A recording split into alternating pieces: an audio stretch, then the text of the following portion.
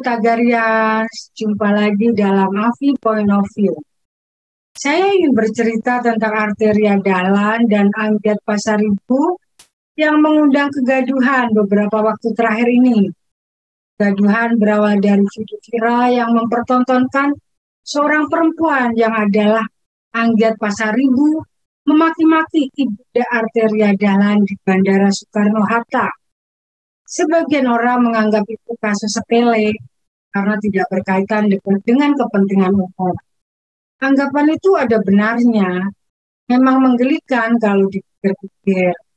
Tapi walaupun dibilang sepele, Panglima TNI Andika Perkasa dan Kepala Staf Angkatan Darat Dudung Abdul Rahman kok mau mengomentarinya.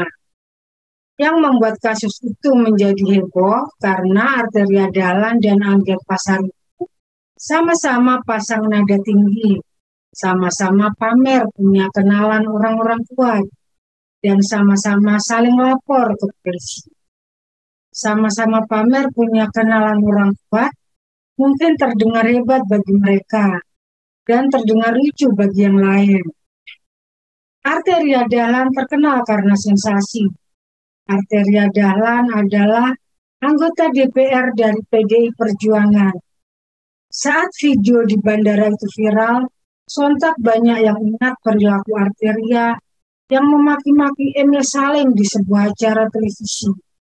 Orang-orang pun menyebut apa yang terjadi di bandara adalah karma Arteria Dahlan. Ada juga yang bilang kasihan ibunya harus menanggung karma Arteria. Ada juga yang bilang kasihan TNI harus menanggung karma Angget Pasar Ibu dibuat repot oleh ulah angket pasar. Soal karma ini tidak perlu diperpanjang ya, karena sejatinya tiap orang bisa mengetahui karma dalam dirinya. Karma baik dan karma buruk.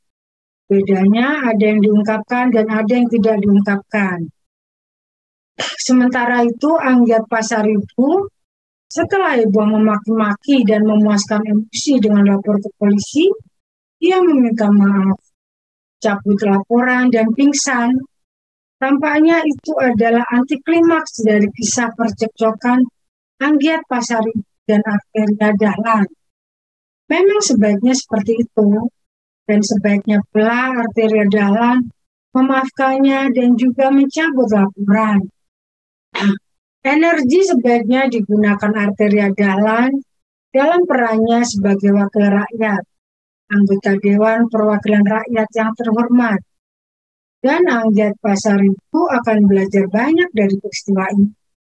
Lepas kendali sesaat dan membangga-banggakan jabatan kerabat, terbukti malah menyusahkan dirinya dan keluarganya. Demikian Afi Point of View. Sampai jumpa dalam Afi Point of View berikutnya. Salam sehat selalu.